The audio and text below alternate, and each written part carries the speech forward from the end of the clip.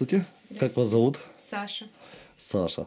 Э, Мы приехали к девочке, которая э, сирота. И воспитывает бабушка с дедушкой. Э, Тебе сколько лет? 12.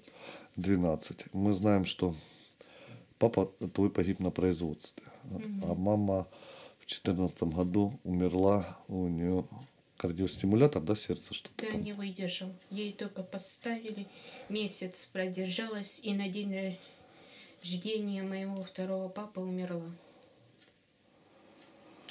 И ты осталась одна.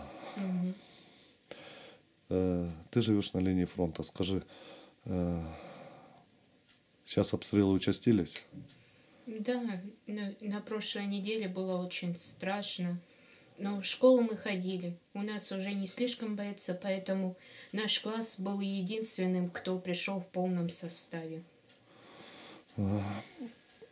Я понимаю, что тебе трудно говорить. э, А скажи, вот сильно война повлияла э, на все, что происходит здесь, вот на э, отношение лю- людей к людям? Э, Они стали добрее или... Ну да, конечно, стали, правда, иногда бывает грустно. Наши соседи уехали, у нас здесь нету половины. В дом напротив попал снаряд, еще в четырнадцатом.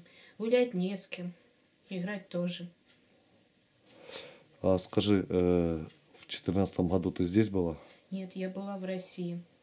Э, А, а здесь очень сильно обстрел был, да? Да, я приехала сюда уже на начало зимы. В пятнадцатом, да? Мгм. Понятно. Было очень тяжело, поскольку прямо наш класс в младшей школе попал снаряд в 71-ю школу. Когда я приехала, поэтому мы не учились, но благодаря стараниям учителям я могла научиться писать, читать. Э, Друзья, огромное вам спасибо за вашу помощь, которую вы оказываете людям, а особенно деткам, живущим на линии фронта. Я надеюсь, все будет хорошо, Сашенька, и война окончится, и э, вот и котик к тебе пришел. И все будет нормально, и скоро ты сможешь гулять нормально со своими сверстниками, не боясь очередных обстрелов. Спасибо.